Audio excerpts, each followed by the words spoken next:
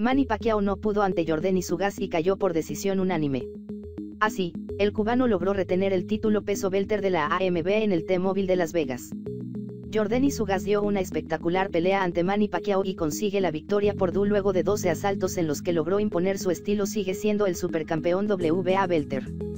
Pacquiao sostuvo en la previa que un cambio de oponente no ha afectado su entrenamiento para el combate contra Ugas que pone en juego la corona mundial de peso welter, después de que el filipino se ausentara dos años del ring.